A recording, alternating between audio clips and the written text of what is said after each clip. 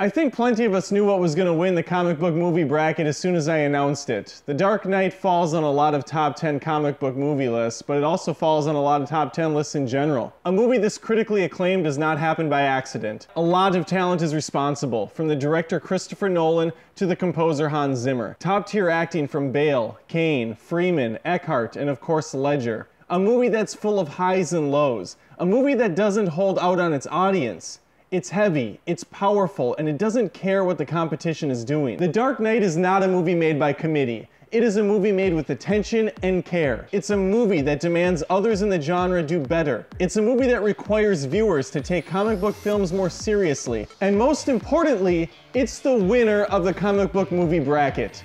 Thanks for watching and voting, and remember, this is more than just reviews, this is Movie Feuds.